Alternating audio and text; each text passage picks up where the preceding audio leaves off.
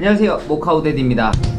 오늘은 사용 중인 소니 링크버즈의 또 다른 장점에 대해서 한번 이야기해 보려고 합니다. 일단 첫 번째로 제가 인스타에 자주 올리는 것처럼 착용을 했을 때 음, 기존의 이어폰이랑 좀 다르기 때문에 색깔 아이템처럼 또 보일 수 있다는 큰 장점이 있고요. 그리고 모양 자체가 약간 둥근 모양을 띄고 있기 때문에 귀걸이 같이 보일 수도 있다는 뭐 그런 매번 소니 제품을 낄 때마다 느끼는 건데 늘 색다른 디자인이 나오기 때문에 때에 따라 또 착용을 하면 또 그게 패션 아이템으로 쓸 수 있다는 그런 장점이 있고요. 그리고 또 이게 귀에 한 부분만 꽂아 넣는 형식이 아니라 한 부분은 걸치고 또 다른 쪽에 또 걸치는 부분을 통해서 약간 착용감에서 조금 우수한 모습을 보였습니다. 오토바이를 타는 경우가 간혹 있는데 헬멧을 쓰고 벗을 때라거나 아니면 앞전에 말했던 것처럼 마스크를 쓰고 벗을 때 걸리는 현상이 없어서 그런 편안함이 좀 있었고요.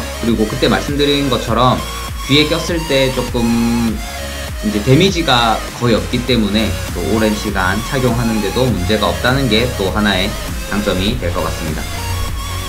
그리고 기본적으로 뭐 오토바이 탄다거나 아니면은 거리를 좀 걸어 다닐 때 비가 와도 우산을 잘 쓰지 않는 편이에요. 근데 또, 또 IPX 4등급의 생활 방수가 또 가능하다고 하니까 거리를 다니다가 갑자기 비가 온다거나 혹은 또 블로그에는 올렸었는데 주방에서 일할 때 뭐 물 묻은 손으로 어, 이어폰을 잠시 만져야 된다거나 이럴 때 전혀 그런 걱정이 없다는 점도 꽤나 큰 장점이었다고 생각이 듭니다. 센서 탭 같은 경우에도 기존에 이어폰을 누르는 방식이 아니라 앞쪽을 두 번 눌리거나 세 번 눌리는 방법으로 되어 있는데 이런 터치도 어찌 보면 또 소니의 강점이기 때문에 이런 부분도 저는 꽤나 좋았어요.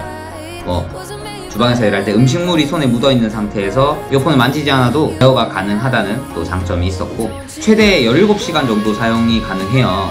그래서 완충했을 때 17시간 정도 착용이 가능하기 때문에 이제 저처럼 업무 시간이 긴 사람들한테는 그런 것도 꽤나 큰 장점이 되겠죠. 그리고 저 같은 경우에는 이제 인스타나 이런 곳에 challenge를 Reels로 자주 찍, 찍는 편인데 찍을 때 스피커로 하면은 되게 부끄럽잖아요. 그래서 대부분 이어폰을 끼고 challenge 영, challenge 영상을 많이 찍는 편이었는데 이게 noise canceling 이어폰을 쓰다 보면 주변에 소리가 안 들려서 춤을 추고 나서 뒤를 보면 사람이 와 있다거나 뭐 이런 경우들이 있었어요.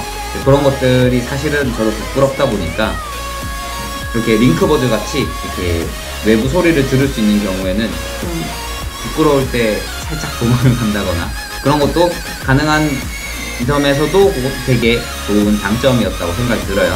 어, 격한 운동을 한다거나 뭐 이럴 때 심하게 막 흔들어도 떨어지지 않아요.